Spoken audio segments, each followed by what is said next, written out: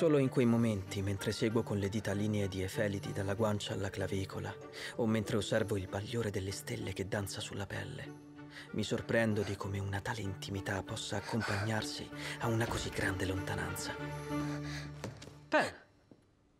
Lo stavi leggendo? No, non intendevo farlo. Non intendevi prendere il mio diario e leggerlo? No, l'ho fatto, ma non avrei dovuto. No, infatti. Quello che hai letto non è scritto per occhi estranei.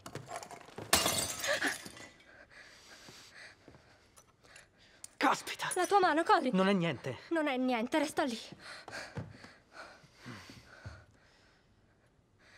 Per favore, lasciami fare.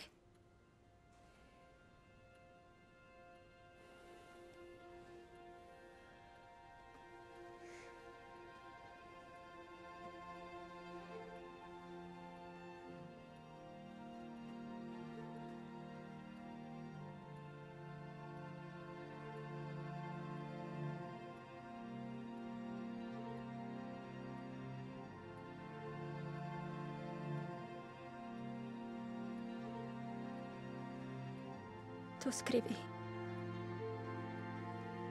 davvero bene. Meglio fermarsi qui per oggi.